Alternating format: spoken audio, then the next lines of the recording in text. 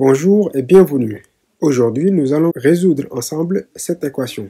C'est une équation assez simple et je vais vous montrer, rien qu'en utilisant les règles de calcul, on peut facilement résoudre cette équation en étant méthodique. Allons-y. On commence par écrire l'équation. Et je vous fais remarquer tout de suite que cette écriture n'a de sens que lorsque ceci est différent de 0, ceci est différent de 0, ça est différent de 0, et aussi ceci est différent de 0. C'est-à-dire, donc je vous laisse rédiger, mais en tout cas, 1 plus x doit être différent de 0, c'est-à-dire x doit être différent de moins 1 ici. De l'autre côté, x doit être différent de 1.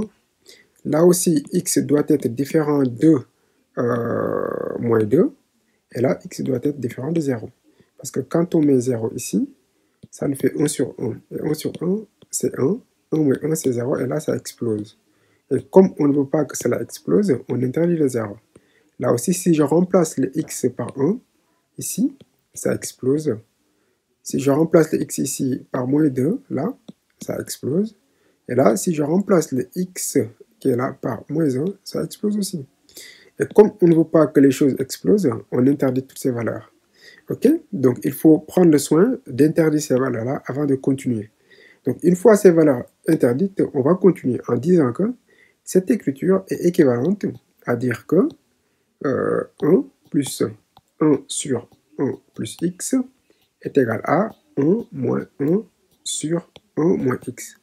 Alors, j'ai utilisé une règle qui dit que lorsque a et b sont tous les deux différents de 0, alors a est égal à b équivaut à dire que 1 sur a est égal à 1 sur b. Ok? On a égalité des inverses lorsqu'on a égalité des nombres. Très bien. Donc, on peut continuer notre opération.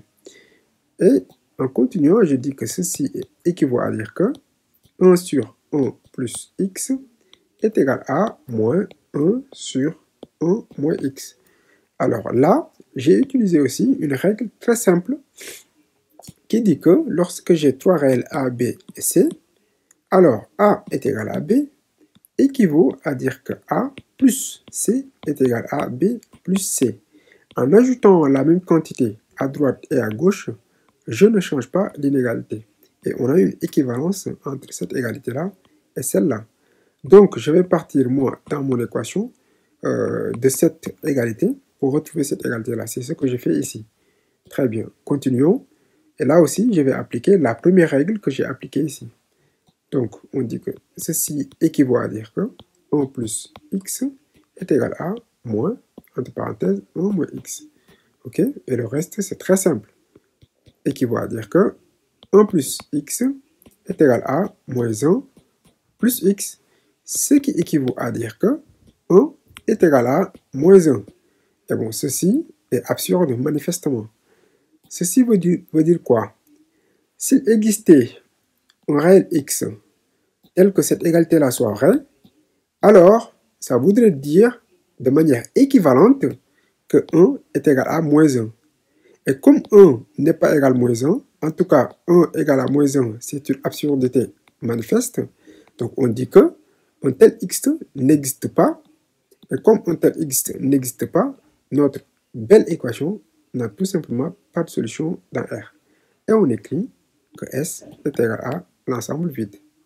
Donc vous voyez, c'est très simple, même si l'équation de départ euh, a l'air très, euh, très complexe, rien qu'en appliquant les règles de calcul, on arrive à faire des choses intéressantes très simplement.